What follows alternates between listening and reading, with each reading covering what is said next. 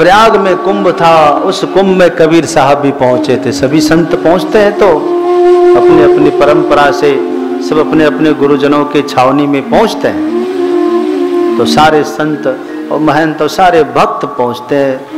हमें लगता है कि पूरी दुनिया में, पूरे विश्व में इससे बड़ा कोई मेला नहीं हो सकता। लाखों की संख्या में नहीं, करोड़ों की संख्या में लोग पहुँचते हैं। इससे बड़ा कोई मेला नहीं हो सकता। भक्तों की भारी भी काम करेगा और साथ में इनकी बुद्धि तीक्ष्ण है। ये ज़रूर कुछ न कुछ टेक्निक दे देंगे। रखते थे भाई। उस समय स्नान करने के लिए शाही स्नान। उसने कहा कि हम भी शाही स्नान करेंगे। चले भाई, कौन मना करे? करो। तुम भी करो। साधु संतों के साथ तुम जाना चाहो तो चलो। तो संतों के शाही सवारी निकली और वो भी शाही स्नान में शामिल हुआ। सिकंदर लोधी अब बदला हुआ था, पहले जैसा नहीं था। कबीर साहब के जो चमत्कार हुए, उस दिन से वो डरा हुआ। संतों को आदर देने लगा। वहाँ स्नान कर रहे थे, उसी समय एक बहती हुई लाश आई। बहती हुई आई। तो उनके साथ में जो शेख आए थे उसने कहा कि साहब, देखिए कितना सुंदर सुंदर बालक है। आहा, ये मर गया, असमय में मारा गया। बादशाह को भी देख करके बड़ा वो हुआ। बादशाह ने कबीर साहब को ताना मारते हुए उन्हीं शेख से कहा कि ये साहब जो हैं, पहुँचे हुए हैं। हाँ इनकी उस साहब से बात होती है। ये चाहे तो इसको जीवित कर सकते हैं। आपस में ही कह रहे हैं। कबीर साहब को सुना के कह रहे हैं। कबीर साहब समझ गए कि ये चमत्कार चाहता है। ठीक है भाई। कबीर साहब ने कहा कि, हे बालक, सुनो, आ जाओ। कहाँ बहते हुए जा रहे हो? अभी तुम्हारा समय नहीं हुआ है। मेरे पास आ जाओ। और वो लाश के रूप में बालक जो बह रहा था, वो जीवित होकर के खड़ा हो गया। और कबीर साहब पास आ गया। बादशाह के मुख से निकला कमाल। कमाल हो गया, कमाल हो गया, कमाल हो गया। कबीर साहब ने उस बालक का नाम कमाल रख दिया। यही कमाल है। कमाल भी दृढ़ प्रतिज्ञ। पहले तो बड़ा लुंज पुंज रहता था ढीली लंगोटी पहनता था। कबीर साहब ने कहा है अपने लंगोटी कसकर बांधा करो। तो उसने लंगोटी तो कसकर बाँध दी और इसका मतलब वो समझ गए कि गुरु जी कहते कि ब्रह्मचर्य का पालन करो। आजीवन ब्रह्मचारी होने का संकल्प लिया उसने। हाँ एक बार जो है कमाल गया था तो ग्वालियर गए हुए थे। तो ग्वालियर के जो सेठ थे, उस सेठ ने बड़ा स्वागत किया कमाल का। कबीर साहब के पुत्र हैं। और जाते समय कहा कि कुछ ये सब लेकिन उसने हाथ जोड़ लिया, कुछ लिया नहीं। तो जब ये सो रहे थे तो इनके पगड़ी में एक हीरा उसने छुप करके बाँध दिया। ताकि कम से कम कुछ तो जाए, हमारा धन पवित्र हो जाएगा, इस भाव से दिया। और जब वो आए लौट करके तो कमाल ने सदगुरु कबीर को प्रणाम किया। जब प्रणाम किया तो कबीर साहब का ध्यान उसके पगड़ी पर गया, देखा कि उसमें चमक रहा है हीरा। तो कबीर साहब के मुख से निकला बूढ़ा वंश कबीर का। उपजा पुत्र कमाल। क्या कहा? बूढ़ा वंश कबीर का। उपजा वंश पुत्र कमाल।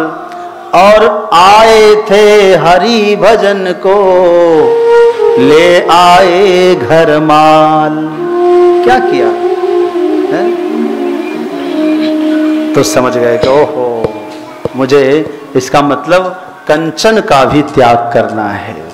कामनी का त्याग तो किया ही था, अब कंचन का भी त्याग किया।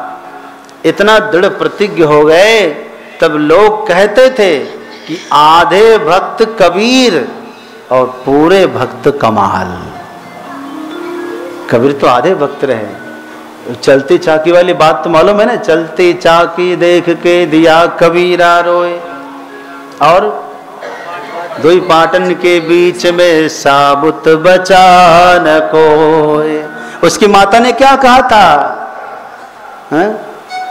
चलती चाकी देख के मत हो कबीर उदास।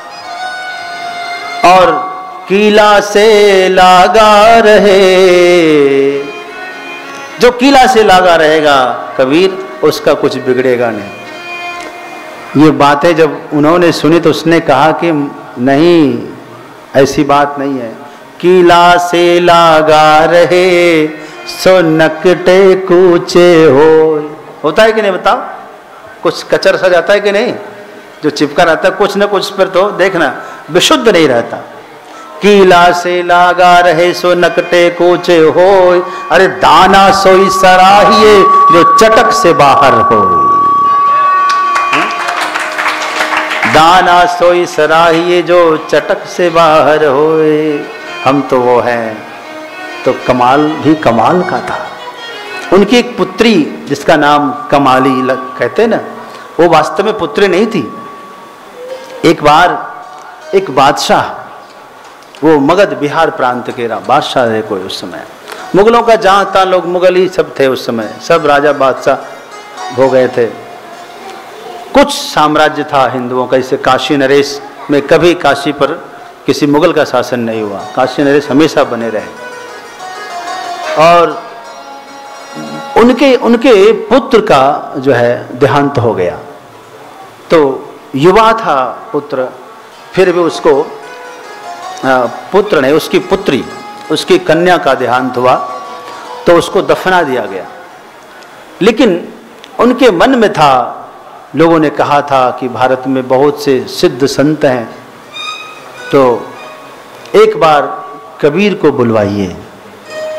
तो कबीर साहब को बुलावा भेजा, कबीर साहब गए।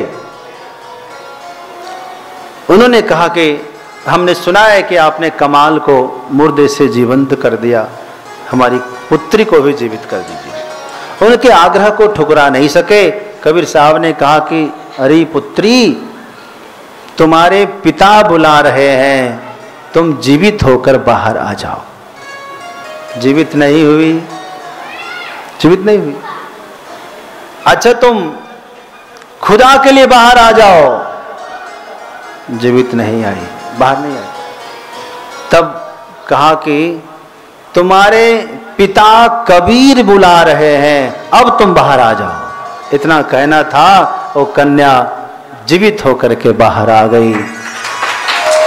अब जय हो जय हो, जय घोष हुआ। उस बादशाह ने सोचा कि कन्या को हम घर ले जाएँगे, लेकिन उसने मना कर दिया, नहीं, मैं तो असली पिता कबीर साहब के पास जाऊँगी। जिन्होंने मुझे जीवित किया है। तब ससम्मान बादशाह ने उस कन्या को संत कबीर के चरणों में दे दिया।